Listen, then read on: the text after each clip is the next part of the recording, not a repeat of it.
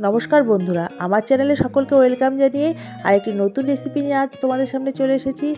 আজ আমি তোমাদেরকে তৈরি করে দেখাবো নিরামিষ লাউ ভাপা। হ্যাঁ বন্ধুরা, লাউর তো অনেক রকম রেসিপি তোমরা খেয়েছো। কখনো কি এইভাবে লাউ ভাপা তৈরি করে খেয়েছো? যদি না খেয়ে থাকো, তাহলে আমার সঙ্গে একবার রান্নাটি দেখে নাও। এখানে একটা ছোট লাউকে সরু লম্বা করে কেটে নিয়েছি।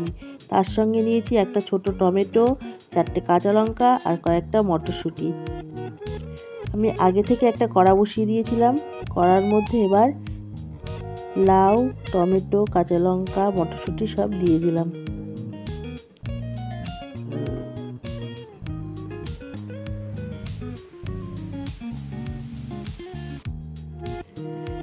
এবার এর মধ্যে দিয়ে দিলাম এক চামচ লবণ। দিয়ে দেবো হাফ চামচ হলুদ গুঁড়ো। লবণ হলুদকে মিশিয়ে নেব।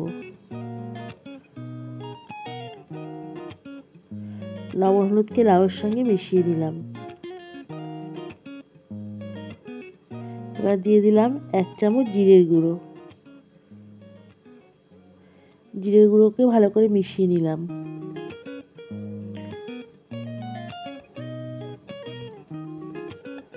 এবার এর মধ্যে খুব সামান্য পরিমাণে জল দিয়ে দিলাম।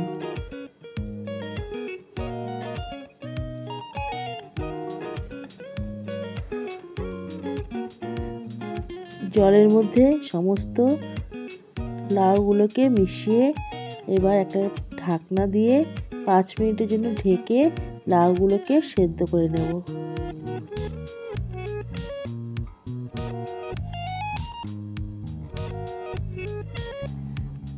দেখো, পাঁচ মিনিট পর ফিরে এলাম, ঢাকনাটা তুলে দিলাম।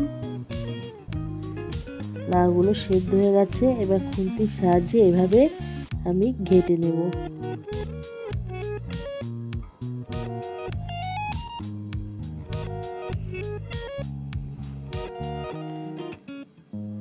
এবার সামান্য পরিমাণে সর্ষের তেল, এইভাবে আমি লাউর চারপাশে ছড়িয়ে দিলাম।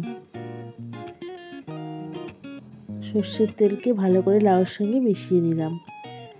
দিয়ে দিলাম হাফ চামচ চিনি। চিনিটাকেও ঠিক এভাবে মিশিয়ে নিলাম।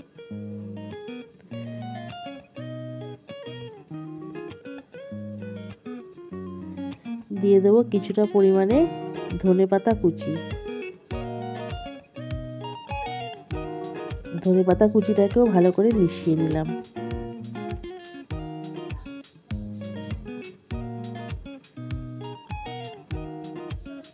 দেখো।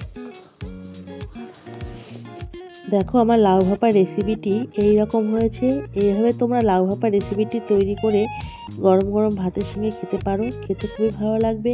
যদি ভিডিওটি ভালো লেগে থাকে তাহলে একটা লাইক কমেন্ট শেয়ার সাবস্ক্রাইব করো। সবাই ভালো থেকো, সুস্থ থেকো এবং আমার পাশে থেকো।